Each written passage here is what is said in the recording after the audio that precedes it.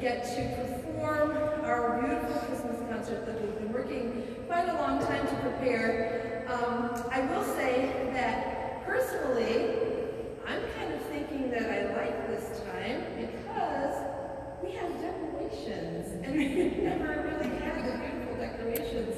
When I walked in, I was just like, whoa, this is amazing, it's beautiful. So, I don't know, maybe we'll do an early January concert always, because I love having beautiful Christmas decorations surrounding us. You know, the joy of the season, just because December 25th comes and goes, it doesn't leave us, because it lives on in our hearts. And I hope that this evening, as these beautiful young people present um, many, many favorites of the Christmas season, that it will take you back to maybe some memories that you made this year, or memories of the past, just immerse yourself in the beauty of Christmas and what that means to all of us as we walk this life here on earth looking forward to that tonight when we will live our eternity. So, without further ado, this is our varsity singers, and we are here to perform for you. I hope you enjoy this evening.